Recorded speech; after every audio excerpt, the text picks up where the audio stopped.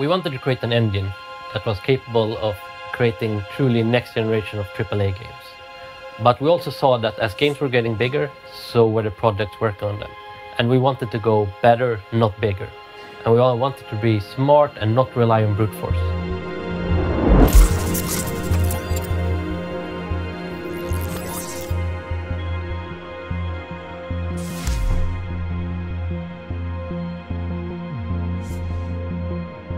The engine should also support how we work in the studio, which is a lot of quick iterations on features, uh, have a lot of creativity and the freedom to experiment and prototype.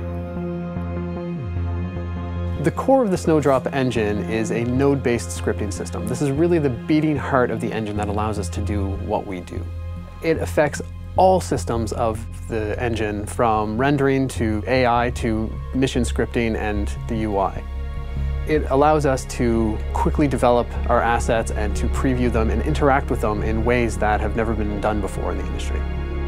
It's so easy to use and to set up that you really have the freedom and time to explore different options.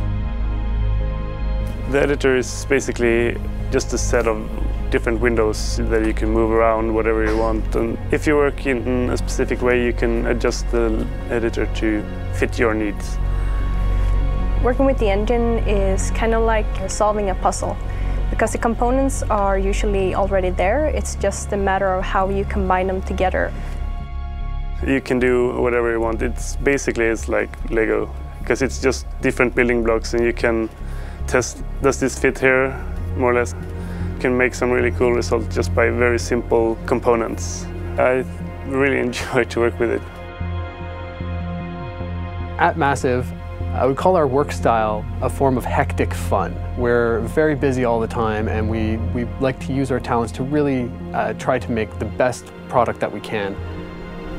All right, the store was empty. I heard that gunfire. There's always that chance of somebody's eyes glazing over and they realizing, but what if we do this? And th that person runs out and comes back with this fantastic idea that somebody hasn't tried before we're really creating something new and unique together. With this power and with the usability in the tools, we saw that people really excelled in what they created. We got amazing graphics, we got new features, and we got unique innovations that we didn't expect, but that really pushed engine forward. And all this was thanks to the foundation that the engine and the tools supplied. Between the philosophy of our company and the power of our technology, what we've achieved is to empower our artists to really achieve levels of quality never before seen.